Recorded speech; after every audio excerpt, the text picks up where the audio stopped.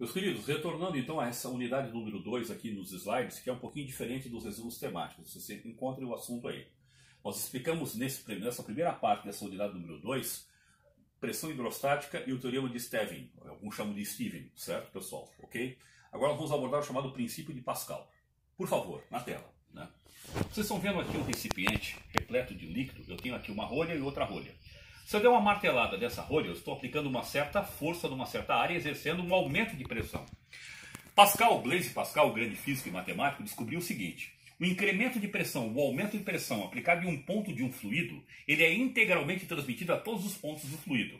Quando eu dou uma cacetada aqui, o que é que acontece, gente? Essa rolha salta desse lado, mostrando que o aumento de pressão que eu apliquei aqui deste lado A foi transmitido integralmente ao lado B e fez com que essa rolha saltasse. Então, Pascal estabeleceu que o aumento de pressão ΔP em um ponto de um líquido, certo, em equilíbrio estático, em repouso, ele transmite-se integralmente a todos os pontos desse líquido, ok, gente?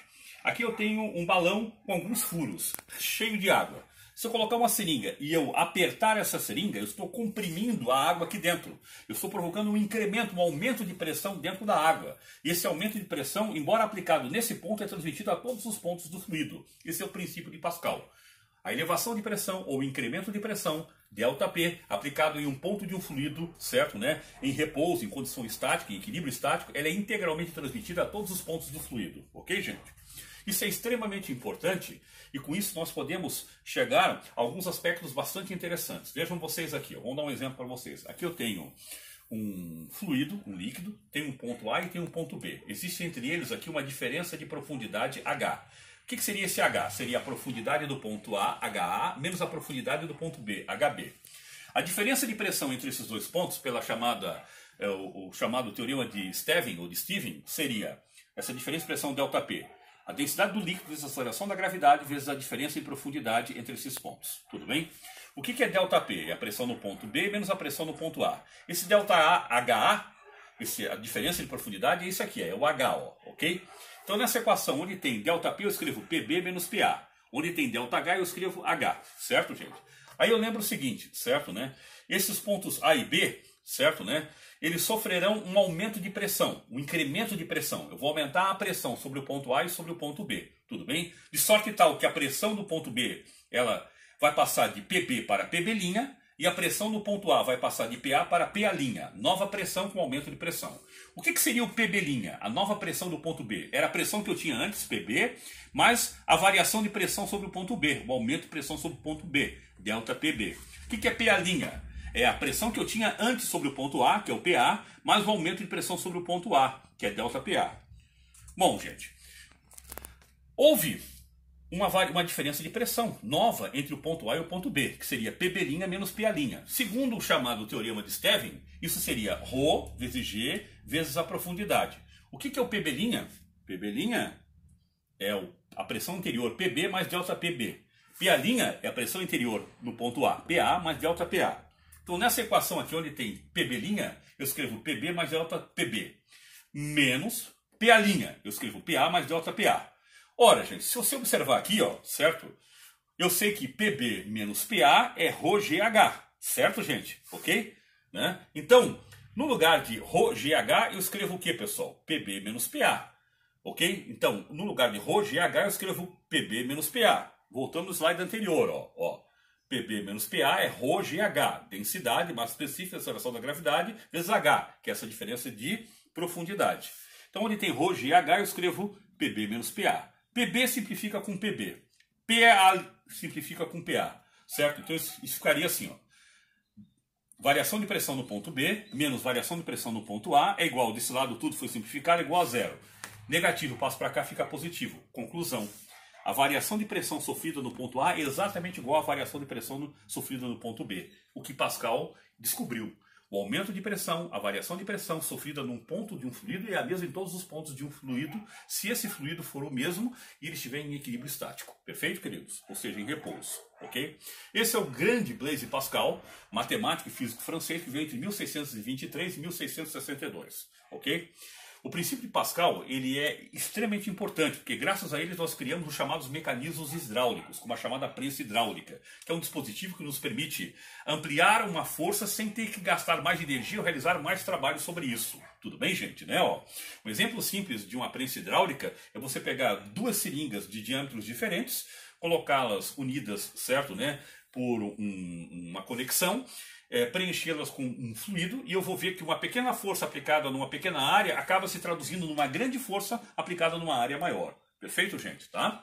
Vamos dar um exemplo aqui ó, do princípio de Pascal né, aplicado a uma prensa hidráulica. Temos aqui dois cilindros. O primeiro cilindro de uma área 1, onde eu aplico uma força F1. Quando eu empurro esse cilindro aqui para baixo, esse êmbolo aqui para baixo, esse êmbolo vai descer e vai empurrar esse esse líquido, esse fluido aqui para cima, ok? O aumento de pressão verificada nesse ponto é igual ao aumento de pressão verificada neste outro ponto aqui. Então essa força F1 aplicada na área 1 acaba se traduzindo numa força F2 aplicada nessa área A2, nessa área aqui, ó, deste êmbolo. Segundo Pascal, o aumento de pressão aplicada aqui deste lado é igual ao aumento de pressão verificado deste outro lado aqui, ó, certo, né? Nesses dois êmbolos. Ora, o que é pressão? Pressão, professor, é força sobre área. Eu posso dizer então que a força F1 sobre a área A1 é igual à força F2 sobre a área A2, ok? Isso se traduz então, certo, né, a nós observarmos, certo, que o princípio de Pascal ele permite com que você multiplique uma força, né, sem ter que necessariamente realizar mais trabalho para isso ou gastar mais energia, tá? De modo geral, você trabalha com cilindros numa prensa hidráulica. Cilindros, certo? Né? Se você for calcular a, a, o que eu chamo aqui, ó, desta, perdão, deixa eu voltar aqui. Essa área aqui, ó, desse êmbolo, essa área desse êmbolo aqui, ó, a área do êmbolo 1 seria π vezes R1 ao quadrado, porque a área do que, pessoal? De, uma, de, um, de um círculo, tá? A área do êmbolo 2 seria π vezes R ao quadrado, só que esse R é o raio do cilindro 2. Bom, eu lembro que o diâmetro é duas vezes o raio, então o raio é o diâmetro sobre 2. Então nessa equação aqui, onde tem o R1, eu posso dizer que a área do êmbolo 1, essa área do êmbolo 1 aqui, ela seria o quê? Π, π. Ao invés de escrever R1 ao quadrado, eu escrevo D, diâmetro 1 ao quadrado, dividido por 2. Só que esse 2 ao quadrado vai ficar 4. Então a área daquele, deste êmbolo aqui, ó, certo? Né? Essa área aqui, ó, eu posso calcular como sendo π vezes o diâmetro ao quadrado dividido por 4. Isso acontece também por outro êmbolo, da mesma forma. Então está aqui, ó, uma força F1 aplicada numa área A1, certo, né? Acaba se traduzindo numa força F2 numa área 2. Esse é o princípio da chamada prensa hidráulica ou macaco hidráulico. Perfeito, gente? Tá? É, vamos agora mostrar algumas relações também importantes aqui, ó. Aqui eu tenho um tubo em U, estou aplicando nesse êmbolo, êmbolo 1, êmbolo 2, uma força F1 numa área 1. Esse êmbolo vai estar aqui vai, vai descer até aqui. Vai empurrar esse líquido aqui para baixo, vai sofrer um deslocamento D1. Quando esse êmbolo sai daqui e vem para cá, ele empurra esse líquido aqui para cima. Aí esse êmbolo 2, de área 2, vai estar sujeito a uma força F2, vai ser empurrado dessa posição para essa posição. Vai sofrer um deslocamento D2. Quando esse líquido aqui desce, eu tenho um cilindro V1 de líquido que acaba descendo. Quando esse líquido sobe deste lado aqui, eu tenho um cilindro de líquido V2 que acaba subindo aqui. Ora, o que, que seria o volume de líquido aqui, V1? Admitindo que ele tem um formato cilíndrico, certo, né? Ora, V1 seria essa área A1 vezes essa altura aqui, ó, D1. Deste lado, o que, que seria esse volume de líquido 2 aqui? admitindo que seja cilíndrico, seria a área A2 vezes essa altura, daqui até aqui, ó, D2. Se eu empurrar um litro de água aqui, sobe um litro de água aqui. Se eu empurrar 10 litros de água aqui, sobe 10 litros de água aqui. Então o volume deslocado no êmbolo 1 é igual ao volume deslocado no êmbolo 2. Como é que eu calculo esse volume que foi deslocado aqui? A1 vezes D1. A área 1 vezes essa altura D1. Como é que eu calculo esse volume V2 que foi deslocado aqui? A área 2 vezes volume 2. Então essa equação ficaria assim, ó. Se um litro de água descer aqui, um litro de água sobe aqui. V1 é igual a V2. Se V1 é A1D1, V2 é igual a A2D2. Conclusão, gente. Eu sei que F1 sobre A1 é igual a F2 sobre A2. Se esse F2 passar para cá e esse A1 passar para cá, eu posso dizer que a força F1 aplicado sobre a área do êmbolo 1 é igual, dividido sobre a força do F2 aplicada sobre o êmbolo 2 é igual à área do êmbolo 1 sobre a área do êmbolo 2, certo? Essa equação eu posso transformá-la assim. Ó. a expressão geral que envolve tudo. Apliquei uma força F1 numa área 1 e houve um deslocamento desse ângulo daqui até aqui. Empurrei um litro de óleo, vamos supor, aqui nesse ângulo. Sobe um litro de óleo aqui, aplicando uma força F2 numa área 2 e havendo um deslocamento desse ângulo daqui até aqui, sofrendo um deslocamento D2. Bom, se eu marcar aqui, por exemplo, dois pontos aqui, ó, aqui e aqui, os dois pontos estando à mesma profundidade, eles vão estar sujeitos à mesma pressão. P1 é igual a P2. O que é P1? F1 sobre A1. O que é P2? F2 sobre A2. Esse F2 eu posso passar para cá dividindo, e esse A1 eu passo para cá multiplicando. Conclusão, F1 sobre F2 é igual a 1 sobre A2. Outra consideração, se eu empurro um litro de água aqui, sobe um litro de água aqui. Então, o volume que desce no êmbolo 1 é igual ao volume que sobe no êmbolo 2. V1 é igual a V2. Só que V1 a gente viu do slide anterior. É A1 vezes D1. É essa área do êmbolo 1 vezes essa altura aqui D1. A2 é essa área do êmbolo 2 vezes essa altura D2. Bom, meu, meus amigos, esse A2 passa para cá dividindo, esse D1 passa para cá, está é, tá multiplicando, passa para cá dividindo. Então eu teria que A1 sobre A2 é igual a D2 sobre D1. F1 sobre F2 é igual a 1 sobre A2. Então F1 sobre F2 é igual a 1 sobre A2 que é igual a D2 sobre D1. O que é D2? Deslocamento do êmbolo 2, daqui até aqui. O que é D1? Deslocamento do êmbolo 1. Essa é a expressão geral do chamado princípio de Pascal. Perfeito?